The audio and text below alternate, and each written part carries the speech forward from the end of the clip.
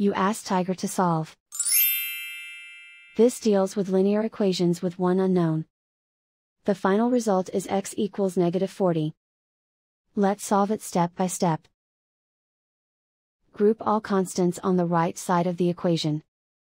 Subtract 10 from both sides. Group like terms. Simplify the arithmetic.